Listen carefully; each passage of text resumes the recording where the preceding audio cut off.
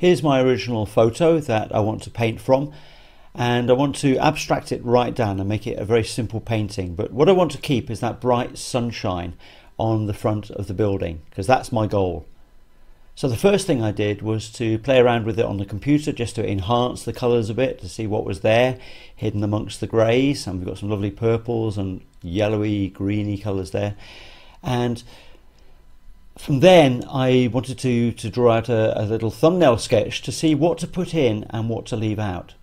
So for instance I left out that whole guddle of buildings behind the wall and just put in a single tree and on the right hand side of the picture I took out one or two buildings there as well which weren't necessary and replaced them with a telegraph pole.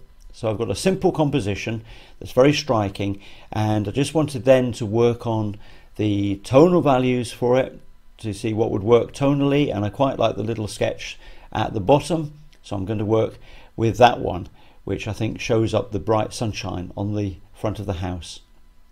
I then did a couple of little colour studies uh, to see what might work. And I really like the one on the left with the, the purple and the, the yellow because those two colours are opposite each other on the colour wheel, they're complementary and so they bring a bit of a zing to the painting.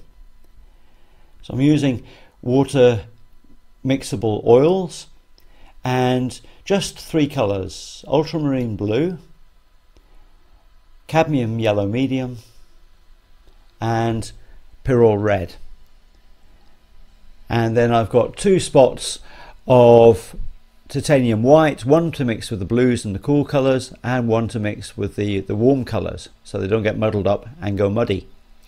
Now I'm painting on a 30 centimeter by 30 centimeter square MDF panel that's been coated with gesso and a light coat of acrylic paint in orange. And the first thing I need to do is to mark out the drawing. So I'm using a little bit of acrylic paint here, just watered down black acrylic paint so it'll dry quickly and won't muddy the other colours that I put on. And I just want to very quickly just sketch in the, the basics of the building and one or two of the trees as well, keeping it very simple. It's got this lovely sort of triangular composition to it, which, which I like.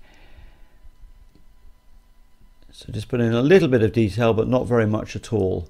And mark in a little bit of the trees, roughly where they're going to go, just to make sure that it looks about right and it's going to work. I think that's good.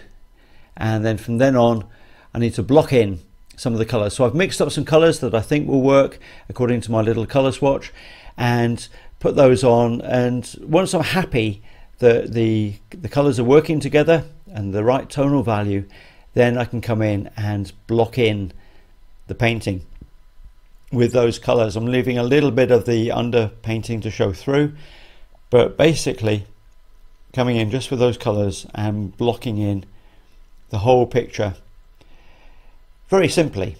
Really, I don't want to get involved in details just yet until the whole of the blocking in is done and I can see that the picture's working. And it's at this stage that I begin to think, yes, I need to put some details in, but how much? How much to put in? That's always the question. And I think the answer always is less is more. So this stage, the third stage, the final stage of the painting is just putting in just enough detail to make it work. Just enough to describe what's there and to attract the eye, but not too much that it becomes confusing. I want to keep the painting loose, impressionistic, slightly abstract. It works because of the strong composition that I've worked out before with the thumbnails. And I know it's going to work because of that. So any detailing I do now is just a little bit of icing on the cake because I, the picture's already working. But it does need some other bits and pieces in there just to entertain the eye, just to keep it interesting. So just add a little bit of detail to the trees, a little bit of light and shade on them, a little bit of palm tree there, just a little bit of definition of it. But only minimal amounts really. I'm trying to keep it as simple as I can because I don't want to distract from the striking composition. So just a few windows and doors really to sort of finish off and see when I put these in how it certainly brings the whole thing to life. Just a few little dark marks, very simple details really, and suddenly the front of the building comes to life.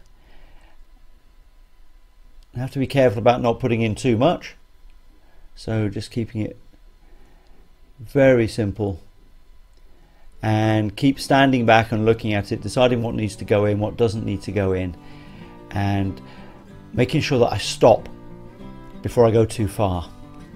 So there's the final picture, there's the photograph it came from, and I hope you've enjoyed watching me paint this demonstration.